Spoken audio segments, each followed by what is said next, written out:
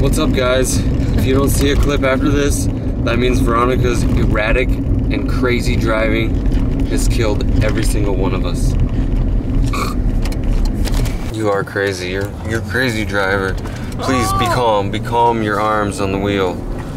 Look, you guys. Veronica's wearing shorts. Was like. Why don't you quit? I just love her legs. Mm. We're on our way to the doctor's office. The doctor's office today is going to provide us the results of the procedure that Veronica recently had. You remember, we went to the hospital. She had to go under the knife. You can't pull in there. You see that red? You see that yellow tape? Heck. You could have just drove over it, actually. I mean, after all, it is just plastic. We have actually the kids with us today, and um, they're about as informed as you are. Uh, and to be honest, you probably know a little bit more than they do. So, without saying too much, let's just uh, get through the results first. See how it goes. How are you feeling? What's your thoughts? I'm just ready to figure out what the heck's going on. Yeah? I got you. Okay. Okay? Yeah. I got you.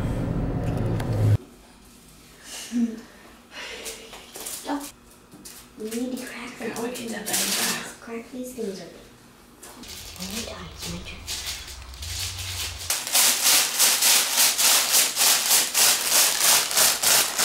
Mm-hmm. Oh. Is that fun, Liza? Oh. So we left the doctor's office, and uh, we'll talk about the results we found out a little later. But first, we had to stop and get lunch. Check out the size of this burger.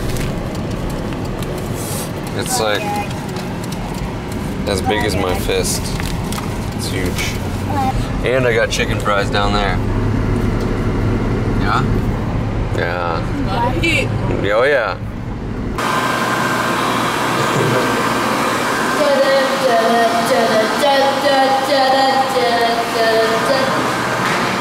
It's always fun taking these guys out public.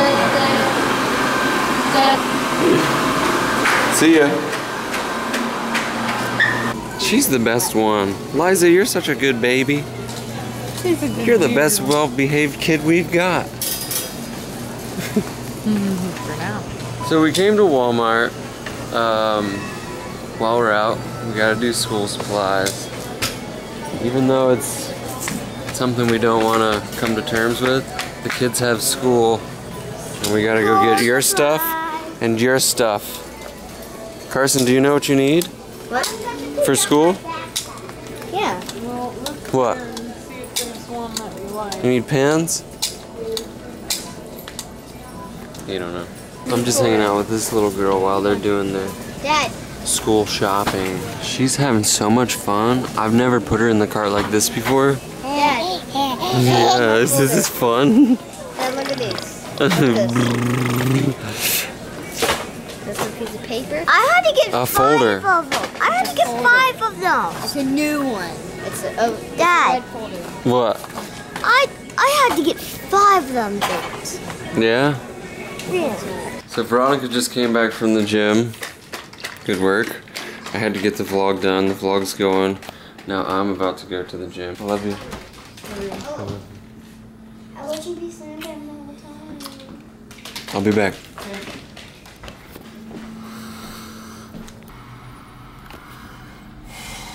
Today's a tough day, guys. I was gonna go, I was gonna vlog today's workout, but I don't really feel like it. I think I'll just leave you guys in the car. And when we get, when I get home, um, me and Veronica are gonna tell you exactly what's going on. I know when we had the other surgery, when she had the other surgery two weeks ago, we didn't really give you much. Um, but I think now that we know, we know everything, we can kind of fill you guys in. My lovely wife made spaghetti. It smells beautiful, honey. She already made my bowl for me. That is that is awesomeness. It's Is like it a good? mountain. It's like a chocolate mountain. It's Like a chocolate mountain? There's no chocolate. Nope, no chocolate here. Just spaghetti noodles and sauce and meat and a little bit of cheese. Okay, guys. You remember two weeks ago, Veronica had a procedure, uh, a surgical procedure to basically take a biopsy of part of Veronica's cervix to determine whether or not this um, inconsistency is to be treated like cancer. It's been a long two weeks, let's just say that. And today, as you know, we went to the doctor and we got the results of that procedure. So the test results came back bigger than what was expected, and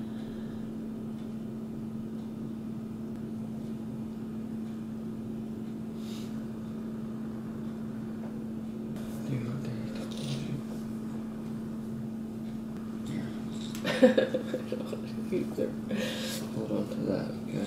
Definitely hard to talk about, uh, especially with a severe situation, a really severe situation as this is.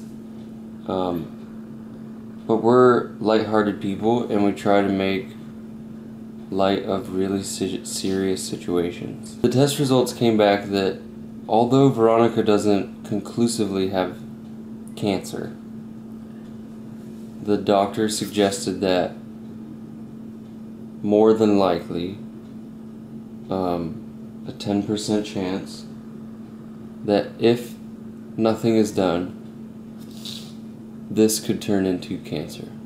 The options were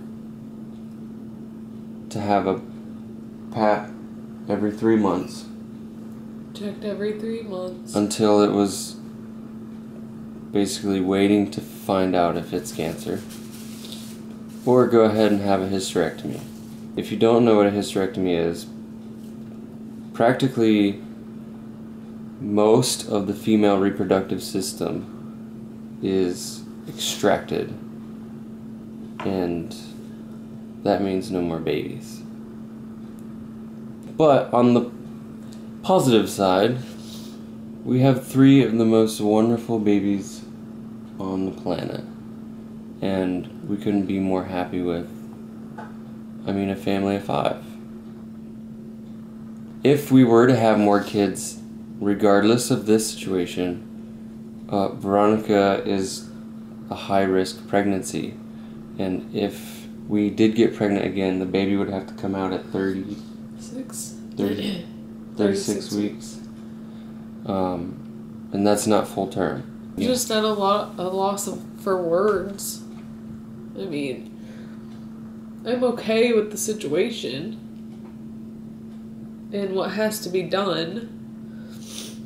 It's just hard.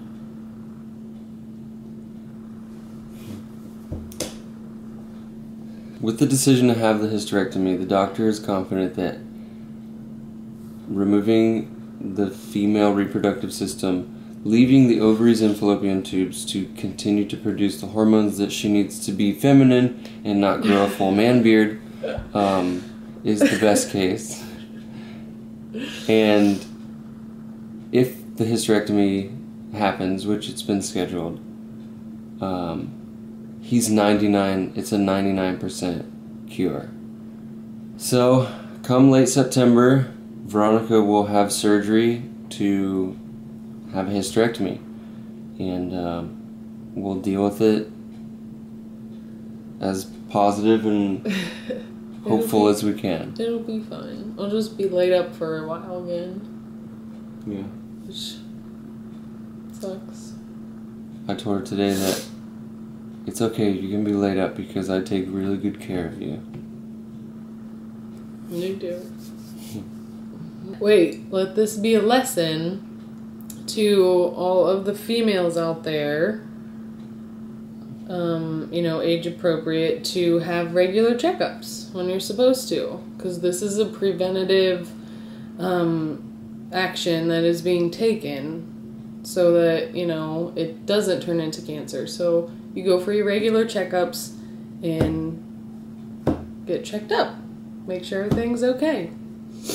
So Right. that when it does if it does turn abnormal, then you know and you can get it on the preventative stage.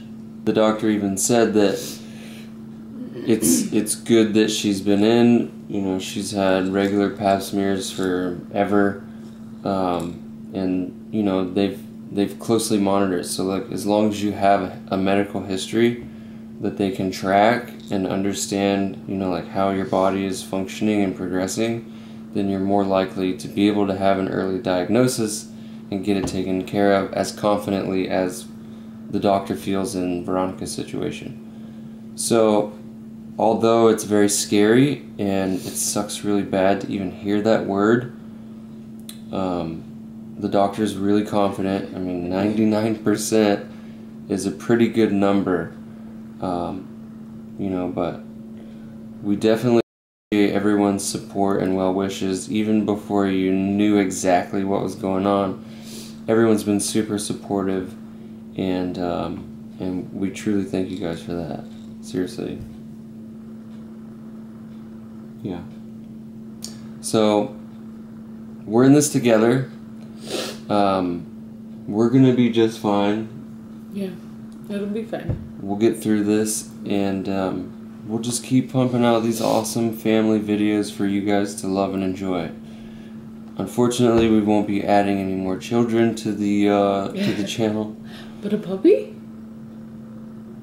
Maybe a puppy? A puppy? There's always room for puppies and kitties. If you want a puppy. that's kind of where we're at, and that will be the end of today's video.